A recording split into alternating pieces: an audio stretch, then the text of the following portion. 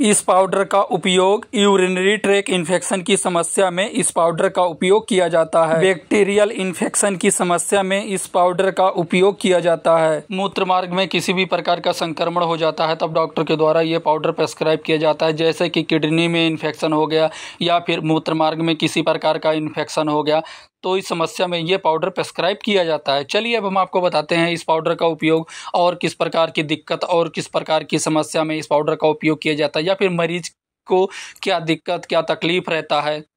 किन किन रोगों में इस पाउडर का उपयोग करने के लिए डॉक्टर के द्वारा मरीज़ को दिया जाता है या फिर इस पाउडर का किस प्रकार के रोग में मरीज़ को क्या दिक्कत, क्या तकलीफ़ रहती है, तब भी डॉक्टर के द्वारा ये जो पाउडर है, ये प्रेस्क्राइब किया जाता है। इस पाउडर का डोज क्या होता है, इस पाउडर का साइड इफ़ेक्ट क्या होता है, ये पाउडर किसे लेना चाहिए, किसे नहीं लेना चाहिए, कितनी मात्रा में ये पाउडर लेना होता है इसके बारे में आज हम आपको पूरा डिटेल से हिंदी में जानकारी बताएँगे। जैसे कि इस पाउडर का मुख्य रूप से उपयोग जो होता है, यूरिनरी ट्रैक इन्फेक्शन की समस्या में इस पाउडर का उपयोग डॉक्टर के द्वारा प्रेस्क्राइब किया जाता है, यानी मरीज़ को लेने के लिए। जैसे कि अगर किसी के मूत्र मार्ग में पेशाब में जलन होना, पेशाब में किसी प्रकार से इन्फेक्शन हो जाना, या फिर पेशाब में अगर पथरी की समस्या रहती है तो उसमें भी डॉक्टर के द्वारा ये जो पाउडर है, प्रेस्क्राइब किया जाता है। या फिर किडनी में किसी प्रकार का कोई बैक्टीरिया बैक्टीरियल इन्फेक्शन हो गया हो या फिर मूत्र मार्ग में किसी भी प्रकार का अगर बैक्टीरियल इन्फेक्शन हो गया हो तो उस समस्या में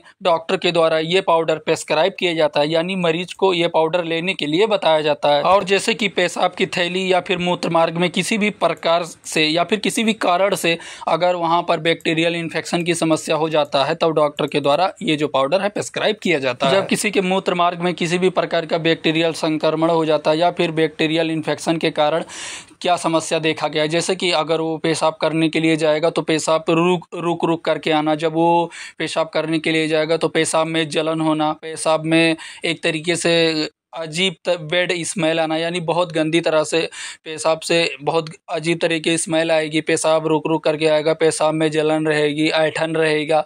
काफ़ी ज़्यादा दर्द की भी समस्या रहेगी जब वो पेशाब करने के लिए जाएगा। तो इस सारी समस्याओं को ठीक करने के लिए डॉक्टर के द्वारा ये पाउडर प्रेस्क्राइब किया जाता है। यानी ये पाउडर मरीज़ को लेने के लिए बताया जाता है। इन सारी समस्याओं को ये पाउडर जड़ से ठीक करने का काम करता है। और जैसे कि जेनेटिल डिस्चार्ज की समस्या में ये पाउडर डॉक्टर के द्वारा प्रेस्क्राइब किया जाता है। जेनेटिल समस्या ये पुरुषों में भी देखा जाता है। महिलाओं में भी ये समस्या होता है। तो डॉक्टर के द्वारा ये पाउडर प्रेस्क्राइब किया जाता है। और जैसे कि आपने देखा होगा, जब कोई पेशाब करने के लिए जाता है तो उसे शंका रहता है कि और भी पेशाब होने की एक तरीके से रहता है। तो उस समस्या में भी डॉक्टर के द्वारा ये पाउडर प्रेस्क्राइब किया जाता है। अगर किसी का पेशाब रुक रुक करके आता है, पेशाब में जलन होना, पेशाब में चिलकन होना, यानी यूरिनरी ट्रैक इन्फेक्शन जितनी भी प्रकार की समस्याएँ रहती हैं यूरिनरी से रिलेटेड इन सारी समस्याओं को ये पाउडर जड़ से ठीक करने का काम करता है। और जैसे कि यदि किसी व्यक्ति के ब्लेडर में यानी अगर किसी भी व्यक्ति के जो पेशाब की थैली है यानी उसमें अगर किसी भी प्रकार का कोई भी इन्फेक्शन हो जाता है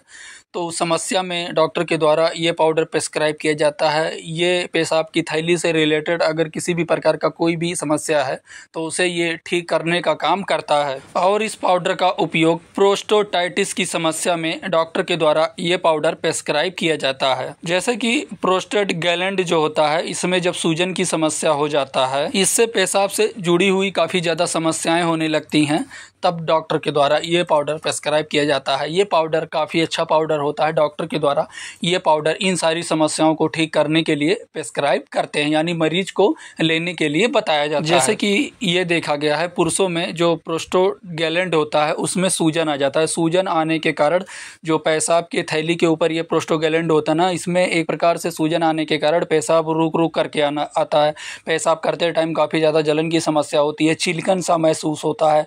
तो इन सारी समस्याओं को ये पाउडर होता है एक तो पूरी तरीके से यानी जड़ से ठीक करने का काम करता है। चलिए, अब हम आपको इस पाउडर के डोज के बारे में बताते हैं। जैसे कि जो पाउडर का डोज होता है, ये डॉक्टर के द्वारा मरीज़ की दिक्कत और उसकी समस्या और उसके एज और उसके बॉडी वेट को देखते हुए डॉक्टर के द्वारा ये पाउडर का डोज निर्धारित करके लेने के लिए बताया जाता है। लेकिन अगर कोई बच्चा तेरह साल से कम की उम्र का है तो ये पाउडर नहीं लेने के लिए बताया जाता है। जैसे कि ये जो पाउडर का डोज होता है, ये पाउडर सात दिन तक आपको लेना होता है। जैसे कि ये पाउडर आप खाना खाने के पहले या फिर खाना खाने के बाद में आधे गिलास ठंडे पानी में एक, यानी एक प्रकार से हम कह सकते हैं नॉर्मल पानी में ये आप आधा सैचेट डाल के ये सोने के बाद या फिर रात में सोने से पहले आप पी सकते हैं। जैसे कि आप ये पाउडर जब भी पिए, तब आप पेशाब करके आएँ, यानी आपका ब्लेडर पेशाब की थैली है, वो एकदम खाली होनी चाहिए। यानी अगर आपको लगता है कि आप टॉयलेट जा सकते यानी जैसे आप पेशाब करने के लिए जा सकते तो आप पेशाब करके आएँ, उसके बाद में आप इसे पिए, पीने के बाद में फिर आप सो जाएँ। ये पाउडर एक प्रकार से काफ़ी अच्छा पाउडर होता है, और जैसे कि ये पाउडर आपको सात दिन तक जो डॉक्टर के द्वारा लेने के लिए बताया जाता है ये पाउडर आपके इन सारी समस्याओं को पूरी तरह से ठीक करने का काम करता है। चलिए अब हम आपको इस पाउडर के साइड इफ़ेक्ट के बारे में बताते हैं। इस पाउडर का क्या क्या साइड इफ़ेक्ट देखा गया है। जैसे कि अगर ये पाउडर आप ओवरडोज की मात्रा में लेंगे तो आपको नींद आ सकता है, नोजिया की समस्या हो सकती है वोमिटिंग के जैसा महसूस हो सक, हो सकता है, आपका पेट खराब हो सकता है, आपको गैस की समस्या हो सकता है, इसके सिवा आपको और भी साइड इफ़ेक्ट हो सकता है।